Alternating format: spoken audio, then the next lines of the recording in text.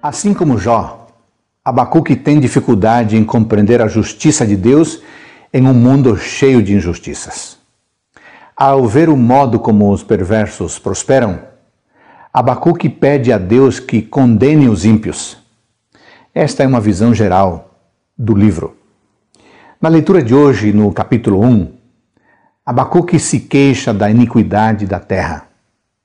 Ele visualiza a vingança a sobrevir por meio dos caldeus e se queixa de que ela será executada por alguém bem pior.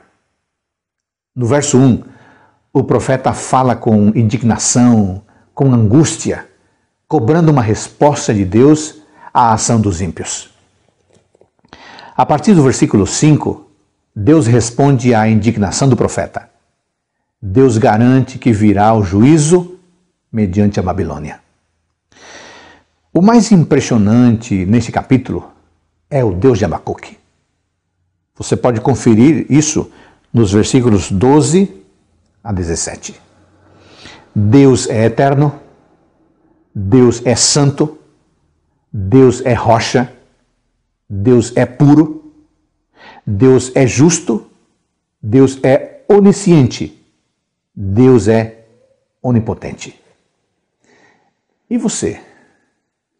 Como é o seu Deus.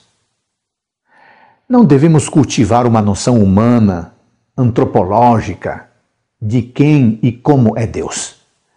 A noção correta de quem é Deus está aqui, nas Sagradas Escrituras. Bênçãos para você no dia de hoje.